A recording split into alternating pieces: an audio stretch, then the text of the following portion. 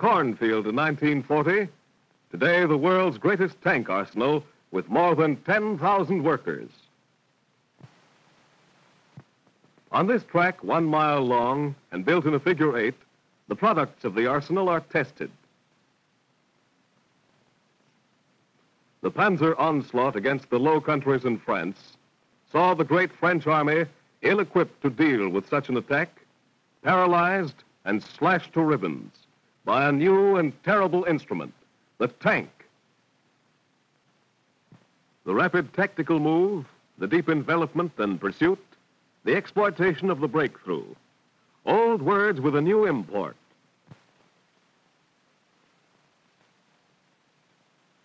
The tanks moved 150 miles a day deep into enemy territory, to the very heart of enemy resistance, repeated the process day after day.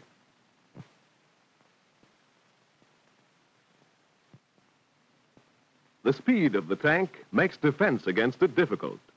Anti-tank guns cannot be moved into position fast enough to be of use.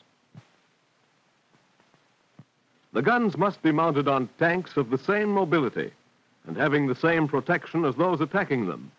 To make an invincible army, we need machines, trucks, planes, and tanks by tens, even hundreds of thousands.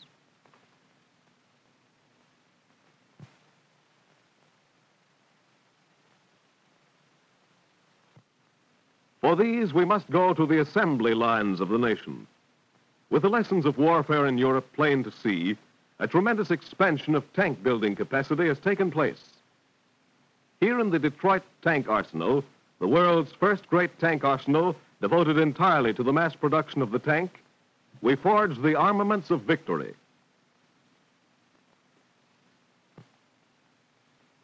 To wage a desperate war, the immense resources of our industrial plant and the incomparable skill of the American worker have mobilized to meet a supreme test. Under this vast roof, we create the rolling forts of armor steel, the fighting tank with great firepower, fitting the American policy of aggressive mobile warfare. Production in factory and arsenal begins far behind the assembly lines. It starts with the machine. From drafting board and planning room come models, charts, drawings, blueprints, and designs. Designs for the lathe to machine the rotor ring of the cupola for easy rotation, giving the tank complete all-round firing range. Designs for calipers and micrometers. Instruments to test required tolerances, for the greatest precision is demanded.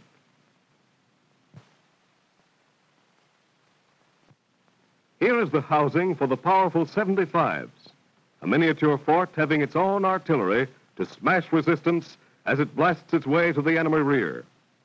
The tank, with its force and scope, is capable of carrying on a small war all alone. Here, the planers rough cut the wheel suspension on which the tank will be suspended. The heat of the tool against the armored steel.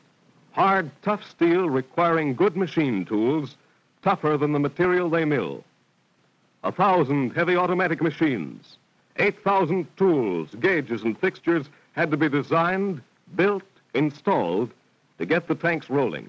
And thousands of workers had to be trained for exacting new skills, all paying willing tribute to a great tradition, to the long recorded achievement of American gunsmiths, artisans, mechanics, to the tool builders of New England, New York, Philadelphia, Cleveland, Cincinnati, Detroit, Milwaukee, and the West. From 1920 to 1935, around 30 tanks were built in the United States. These were all development or pilot tanks made for experimental purposes. The sudden creation of a vast citizen army and the lessons of warfare in Europe brought a great expansion of tank building capacity. But large as initial plans and orders were, these have been doubled and quadrupled in the face of world conflict. Today, the most advanced methods of industrial production, the most modern in tool and machinery design, are joined together in an epic struggle to determine the destiny of free people everywhere.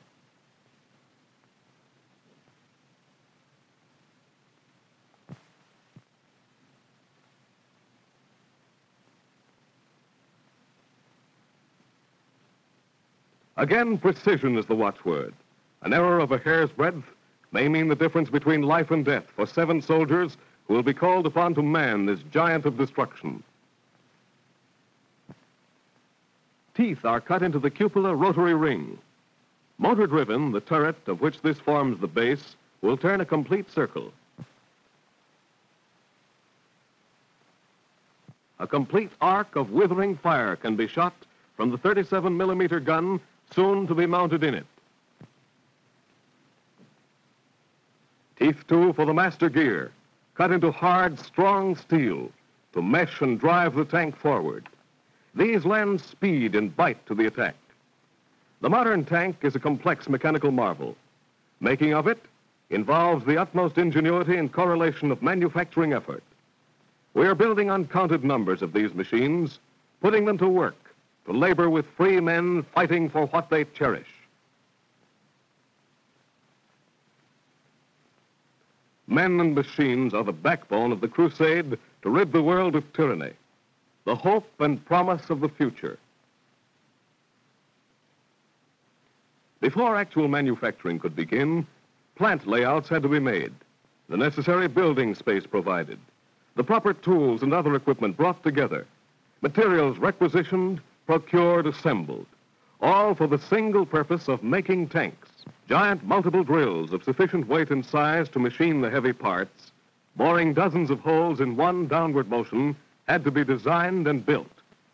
Here are the gears and flywheels of the punch press in one of dozens of departments, making parts which flow to the main assembly, into the finished tank.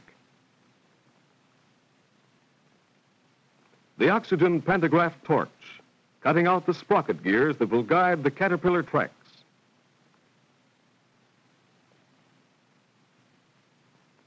These are cut in triplicate. From spring 1940 to the 1941 Battle of Libya was only 18 months, but it was long enough for American mass production to fill our Army's first tank requirements and have some left for our allies. Now the waste metal sheet is removed. The material will be reclaimed, melted down, used again. The tips of the sprockets are flame hardened Minimum weight is essential. It increases speed, gives additional mobility in difficult terrain. High alloy steels are used, which are heat treated to develop their full strength.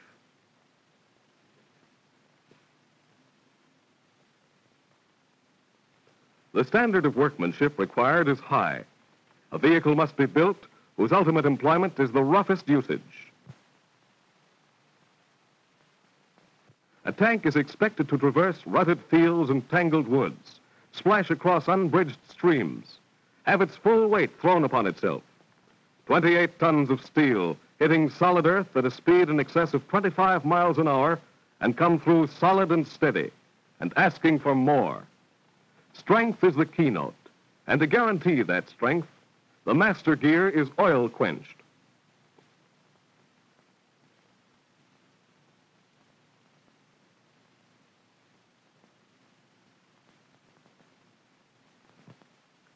Another oil bath assures the hardness of the white suspension arms. Unlike the average industrial plant, evolved as changing requirements are met, the tank arsenal had to be planned down to the smallest detail. But from blueprints to finished plant, the job was accomplished in seven months. Not only that, in this brief space of time, the first completely assembled tank was delivered to Army officials. From hundreds of suppliers come steel, rubber, aluminum, and tin. Hub forgings, heavy gear, drive shaft, pinion, gas, oil, and electric gauges, helical springs, electrical panels, fuse boxes, and meters. From these vast stockpiles, materials flow to scores of sub-assemblies, reaching their proper places, each at the proper time. 10,000 parts, 20,000 parts, 30,000 parts. 30,000 parts to make one engine of destruction.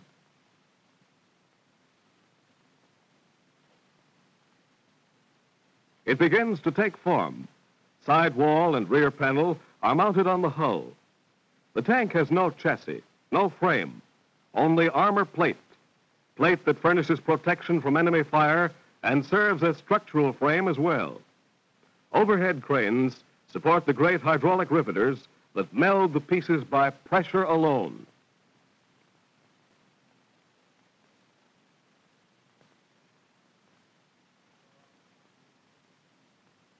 Dozens of tanks go together at one time, rolling from stage to stage on three production lines. The shield, the forepart of the tank, heavier plate armor than that of a destroyer to make a land battleship, a roaring, plunging vehicle of death, a weapon come of age, taking its proper place beside the airplane and the naval vessel. And here is the turret for the 75 millimeter cannon. The wheel suspension. Later come the insulation, the operating levers, transmissions, oil and gas tanks, electric wiring, and piping instruments. The crane hoists the completed hull, moving it along the line where it will gather strength, power, drive.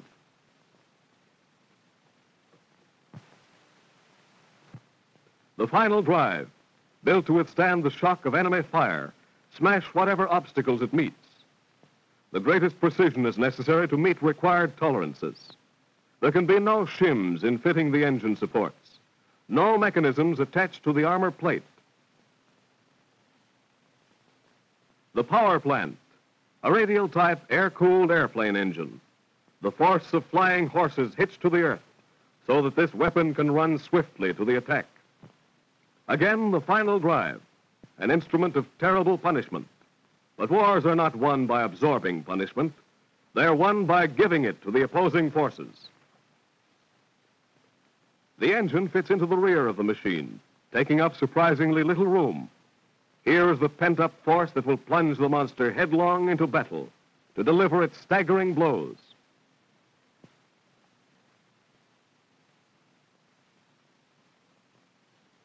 The 37 millimeter motor-driven revolving turret. A fortress swinging a complete circle of raking fire, destined soon to shelter men, steel, and shrapnel, to hurl at the tyrant foe.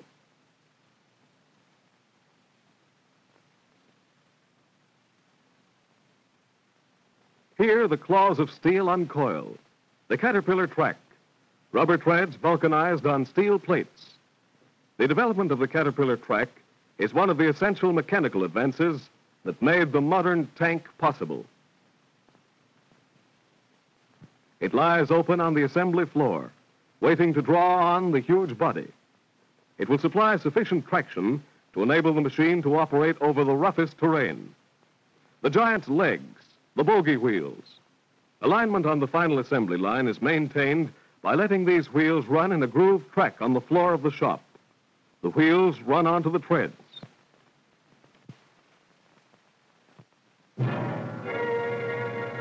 A machine full grown at last, ready to roll off the front of the line under its own power. Ready to pull the next tank into place without a moment's pause. 30,000 separate parts covered by nearly 6,000 drawings go into the making of this backbone of the Army's striking power. An American concept, an American accomplishment, representing the best integrated experience, ability, and intelligence of American industry and the American Army. The 75 millimeter cannon adds to the tank a weapon capable of firing high explosive shells, shrapnel, and smoke shells. It furnishes direct light artillery support for tank and other mechanized units, making a fearful dreadnought of destruction, a rolling fort to challenge the aggressors.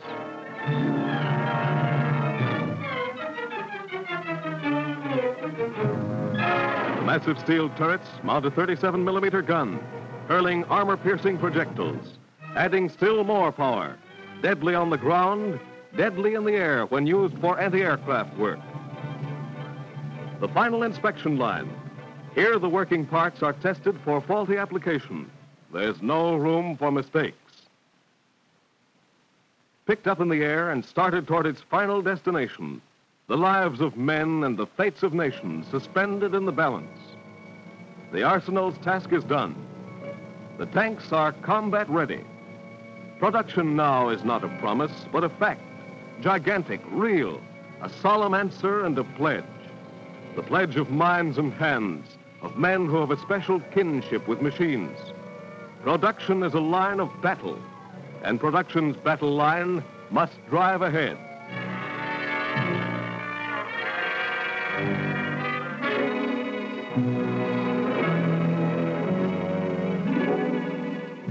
Make certain there's no faltering along this line, every civilian plant that can is being converted for the production of war material, and more and more factories are scheduled for production.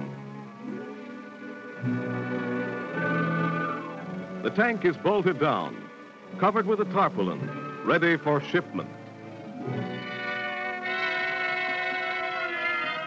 Shipment to Asia, to Africa, to the Middle East, to the ancient fields of Europe, to the far-flung shores on which embattled allies stand.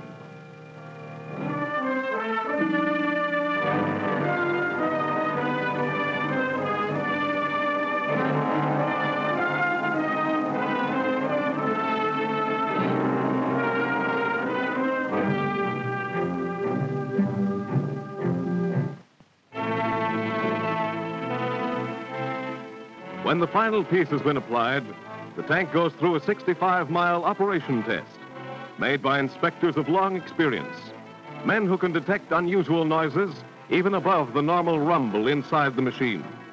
An ordnance test of 10 miles follows before the tank is finally accepted. Night and day this work goes on, here as in thousands of other factories throughout the country, toiling ceaselessly to produce the instruments of destruction for a nation in the grip of total war. The Detroit Tank Arsenal is only one of many great plants turning out the medium tank. A series of transformations from cornfields to arsenals, from idle factories to humming production lines has been going on. More and more factories are scheduled for construction as the vast plants and experience of the automobile industry are converted from peacetime manufacture to the pressing needs of these grim hours.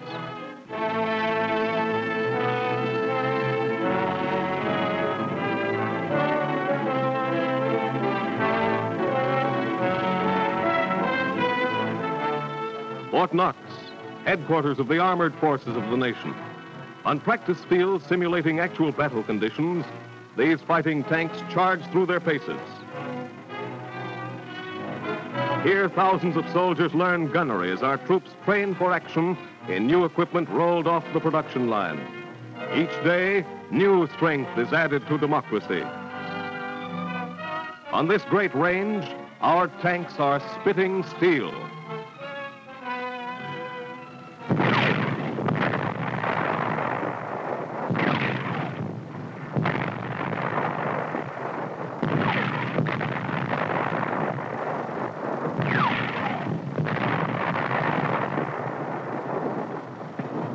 Strong men will see them through.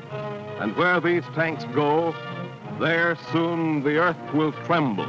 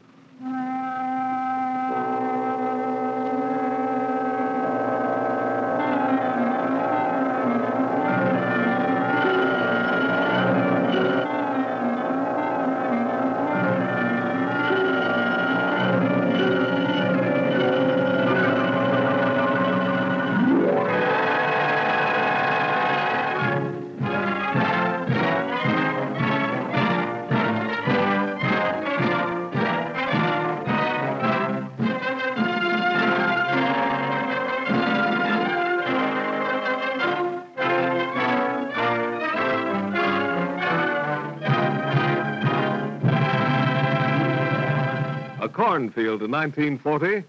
Today, the world's greatest tank arsenal with more than 10,000 workers. On this track, one mile long and built in a figure eight, the products of the arsenal are tested.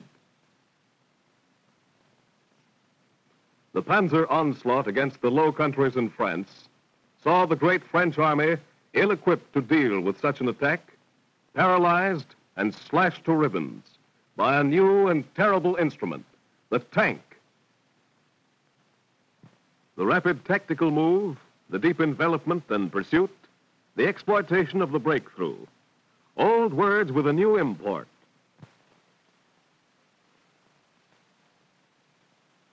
The tanks moved 150 miles a day deep into enemy territory, to the very heart of enemy resistance, repeated the process day after day.